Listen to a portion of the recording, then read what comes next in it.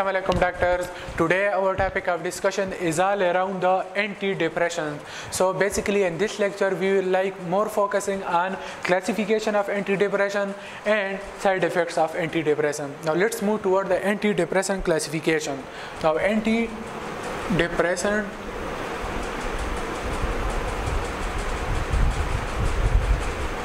are classified into three major groups that is tricyclic antidepressant and selective serotonin reuptake inhibitors and serotonin and serotonin and noradrenaline reuptake inhibitor.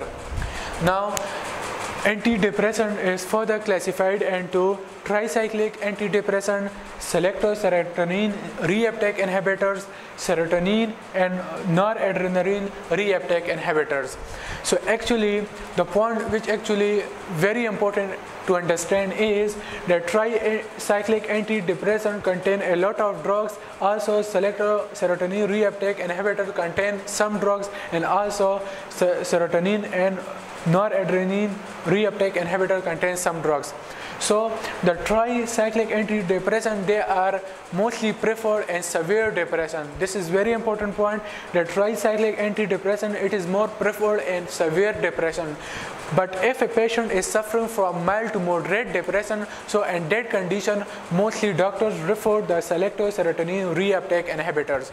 So these, uh, this is important point that tricyclic antidepressant it is preferred in severe depression but if we talk about selective serotonin reuptake inhibitors so these drugs are preferred to the patients if patient is suffering from mild to moderate depression now there are certain drugs that are coming under the class of the tricyclic antidepressant so for that we are having a trick that is antidepressant C where we are not focusing on E. Now, where each alphabets will indicate the particular drug of the tricyclic antidepressant, like if we say A, A stands for amitriptyline.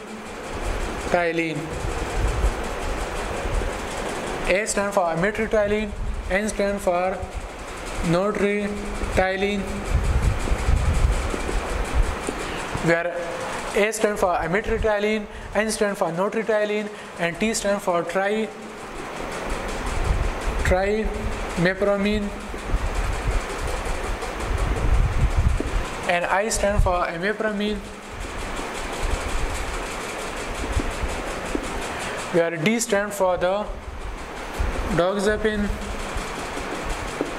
and P stand for pro protriptyline and C stand for the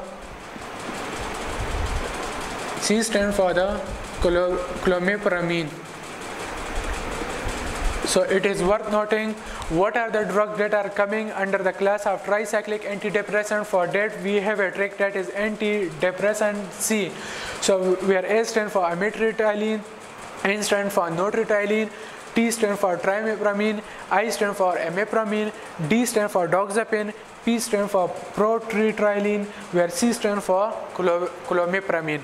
Now let's switch toward the selective serotonin reuptake inhibitors which is preferred in mild to moderate depression. Now for that we are having a trick that is FCPS. So what is the trick to recall the drugs that are coming under the class of selective reuptake inhibitors, sorry serotonin selective reuptake inhibitors. So for that we are having a trick that is FCPS where F stands for fluoxetine P stand for paroxetine, C stand for citalopram, S stand for sertraline. So in the class of serotonin selective reuptake inhibitors, we are having a lot of drugs, but some of drugs, some of the drugs are fluoxetine, paroxetine, and citalopram and sertraline. Now this is these are the selective sorry serotonin selective reuptake inhibitor. Now if we see the serotonin and noradrenaline reuptake inhibitors, so for that we are having a trick that is DVD that contain duloxetine and venlafaxine. So students, I'll repeat it once again. Antidepressants are further classified into two, and uh, sorry, it is further classified into three major groups. That is tricyclic antidepressant, serotonin selective reuptake inhibitors, and serotonin and noradrenaline reuptake inhibitors. So in the category of tricyclic antidepressant, we are having a mnemonic that is antidepressant C, where A stands for amitriptyline, and for nortriptyline, T stand for trimipramine, I stand for imipramine, D stand for doxepin, B for protriptyline, and clomipramine for C. Now if we see the serotonin selective reuptake inhibitor, for that we have a trick that is FCPS, where F stand for fluoxetine, C for citalopram, P for paroxetine, and S for the sertraline. Now for the serotonin and noradrenaline reuptake inhibitor, for that we are having duloxetine and venlafaxine. Now this is all this is all about the classification of the antidepressant with an easy trick. Now let's switch toward the side effects of the antidepressant. Now if we talk about the side effect of antidepressant, now if we see more systemically, now like if we say antidepressant. Now more specifically if we talk about the side effect of tricyclic antidepressant, so the sum of the side effect of tricyclic antidepressant are for that we are having a trick that is that is T C A. Tricyclic if you see the initial word of the tricyclic antidepressant so it will correspond to the one of the side effect of the tricyclic antidepressant. Now let's talk about the tricyclic antidepressant for T where T stands for the tremors so one of the most important side effect of the tricyclic antidepressant is tremors and where C stands for cardiovascular side effects. C stands for the cardiovascular side effects like more specifically ischemic heart diseases. So now if we see the A, A stands for the anticholinergic side effects. Anticholinergic side effects. And what are the anticholinergic side effects? Yes please. That is dry mouth and dysphagia, urinary retention, so and constipation so these are all are the side effects of the anticholinergic so it is also very important side effect of the tricyclic antidepressant your S stand for the sedation S stand for the sedation. Now it is worth noting what are the side effects of the tricyclic antidepressant for that we will see the initial letters of the tricyclic antidepressant that is TCAS where T stands for the tremors where C stands for the cardiovascular side effects like if we say more specifically like ischemic heart diseases. Now A stands for the anticholinergic side effect that is dry mouth dysphagia urinary retention constipation as we discussed earlier. Where S stands for the sedation so student, this is all about the side effect of the tricyclic antidepressant. Now, if we talk about the side effect of the selective serotonin reuptake inhibitors, so for that, sorry, so for that we are having a trick that is that is SSRI. So how to recall the side effects of the selective serotonin reuptake inhibitors to, just the C of the initial letters of the SSRI.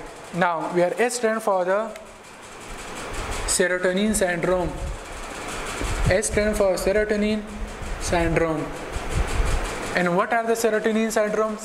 There are four important manifestations regarding serotonin syndrome. That is, for that, we are having a trick that is that is harm. So your S stand for the hyperthermia, A stands for autonomic. Instability and R stands for rigidity. M stands for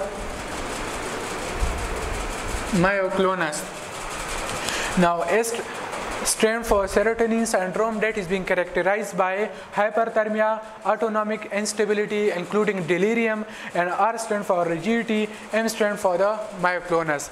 Now if we talk about another S that means stimulate CNS. It also stimulate the CNS and R stand for reproductive dysfunction